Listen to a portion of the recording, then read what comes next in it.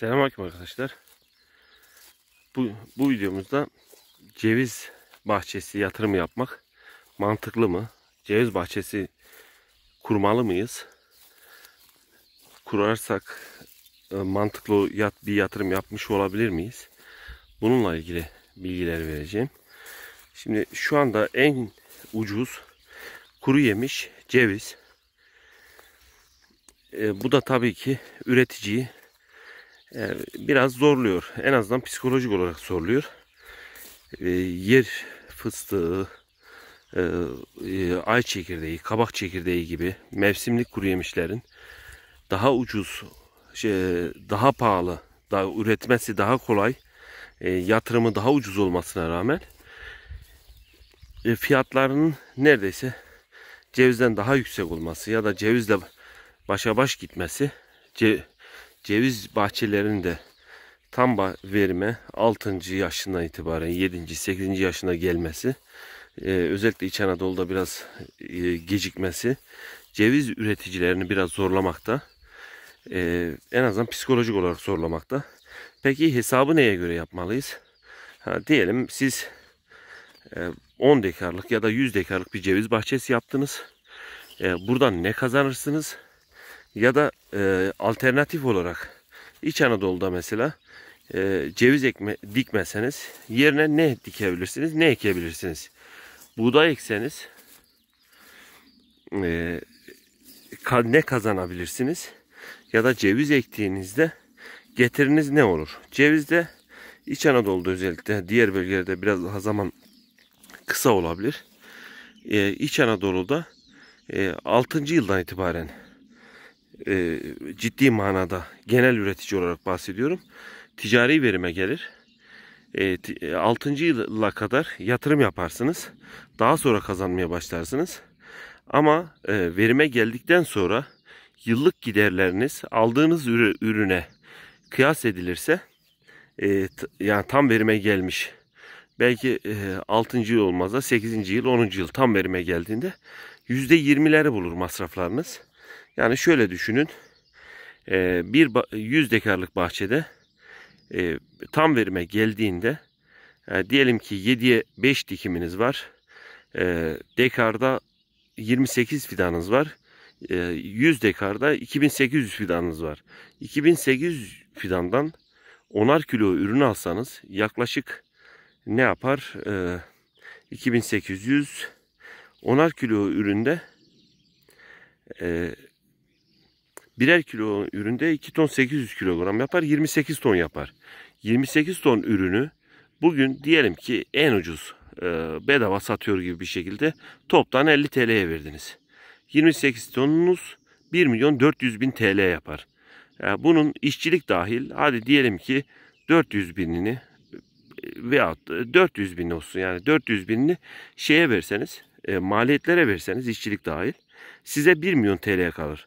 Ama buğdayda e, daha önce çok hesaplamıştım. Bu gübreler artınca son dönemde hesap etmedim ama kar marjı %25. Yani şöyle düşünün 10.000 TL yatırım yapıyorsanız buğdaya e, size gelecek olan e, 2500 TL'dir kar olarak net kar cebinize giren kar olarak. Onu da vadeli falan almıyorsanız tohumunuzu, gübrenizi, ilacınızı vadeli almayıp peşin çalışabiliyorsanız %25 dolaylarında kar bırakıyor. Ortalamadan bahsediyorum. Çok yüksek ya da çok alçaktan bahsetmiyorum. Ama cevizdeki kar oranı verime getirdikten sonra yatırım maliyetlerini saymazsak e, ilk kurulum, tarla alması e, ve diğer maliyetleri saymaz isek yaklaşık e, %80'lere e, varan bir kar marjı oluyor. Hadi diyelim ki %60 yine güzel yüksek bir oran. E, şöyle düşün yani 50 TL'den bile veriyor olsanız 10 tonda 500 bin TL para kalıyor. İşçiliğini kendin yap, kendiniz yapabilirsiniz. Bunun %10'u 50 bin TL gibi yapar. O civarda 10 ton üründen bahsediyorum. 10 ton ürünün 50 bin TL gibi bir mali %20 diyoruz ama 50 bin değil 100 bin TL gibi bir maliyeti olur. Ee, %10'u 50, 50, 500 bin %10'u evet 50, e, 50 bin 100 bin TL gibi bir maliyet olur. Belki o kadar da maliyet olmaz ama e, yüksek oranda kar marjı bırakır. Yani iyi bakılan bahçelerden bahsediyorum. Kötü bakılan bahçelerde hatta yüzde beşlere kadar düşer bu maliyet. Yüzde üçlere, yüzde beşlere kadar düşer yıllık maliyetiniz. Bunları hesap eder isek uzun vadede, uzun soluklu düşünürseniz ceviz yatırımı karlı bir yatırım. iyi bir yatırım. Ama ilk özellikle belki e, ilk 8 yıl, ilk 10 yıl tam verime gelmeyebilir iyi bakamazsanız. İyi bakarsanız 4. 5. yılda verime getirip tam verime yine 6. 7. yıl, 8. yıl gelebilir. Bunlar göz önüne bulunduracaksınız. Yani dayanma gücünüz olacak. En az 6 5 yıl, 6 yıl dayanma gücünüz olacak.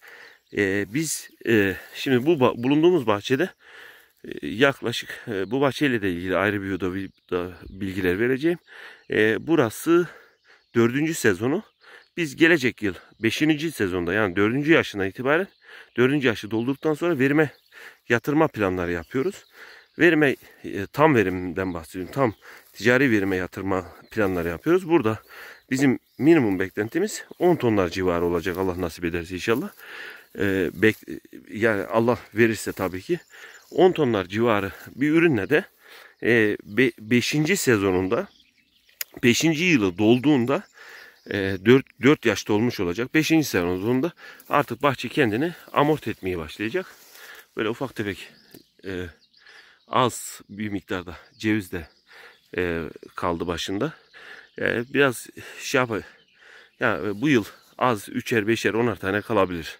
Tadımlık diye düşünerekten bunları kopartmadık.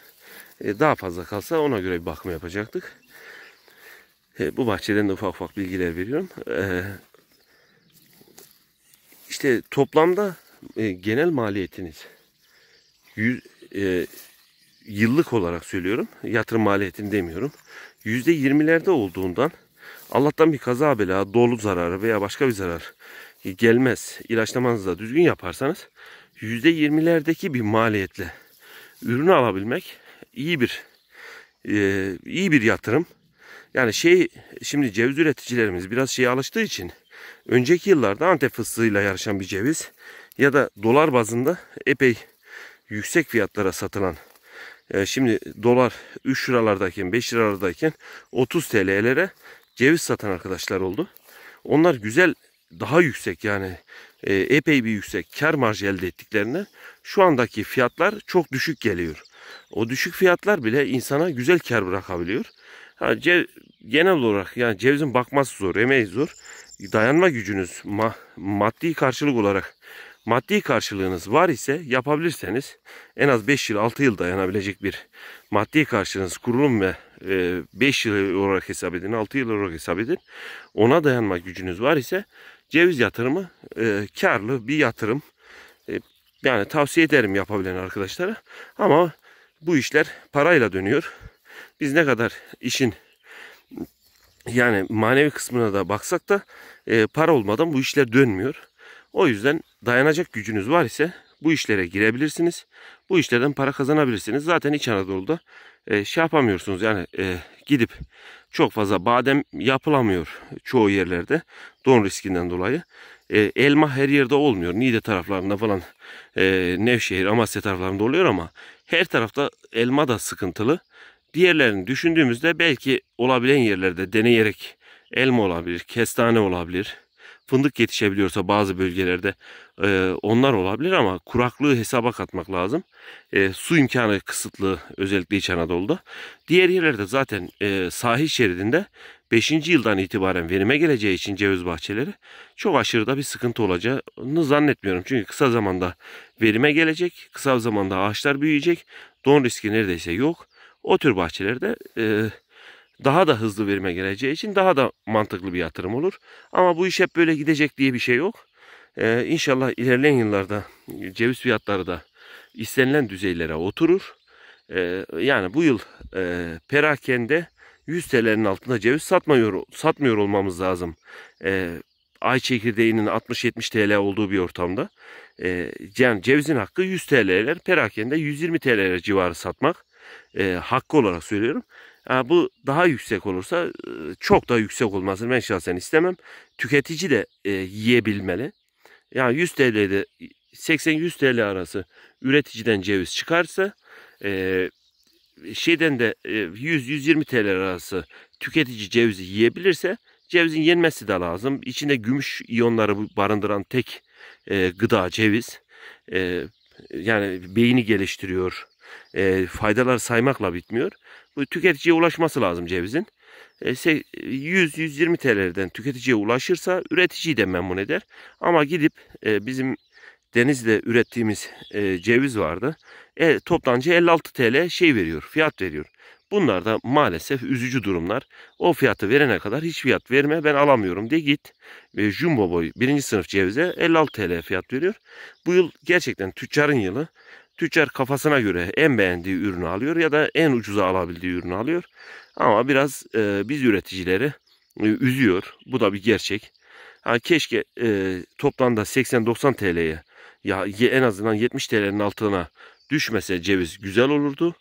İnşallah ilerleyen yıllarda e, ceviz fiyatları da belirli bir yere oturur. E, e, ve üretici de düzgün e, bir para kazanır. Kooperatif işi biraz sıkıntılı bir iş arkadaşlar.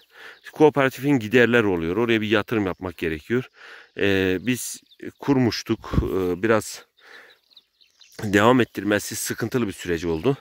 E, yani şeyde e, e, nasıl diyelim e, e, bunun e, yani kooperatif adına yatırım yapmanız gerekiyor. Kooperatif e, ortakları e, her yani siz birbirlerine de sanki mallarına da ortak bir gibi bir durum oluşuyor.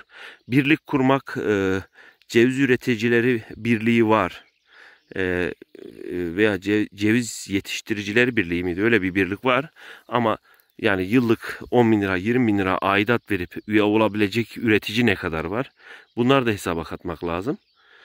Ee, böyle olunca e, ceviz e, ile cevizde e, sosyal bir birleşme epey bir zor olmaya başlıyor. Yani bunun için arkadaşlar e, şu anda bireysel devam ediyoruz. Devlet inşallah ithalatta bir çözüm bulmaya çalışır. İthalata çözüm bulunursa inşallah ilerleyen yıllarda daha güzel olacak.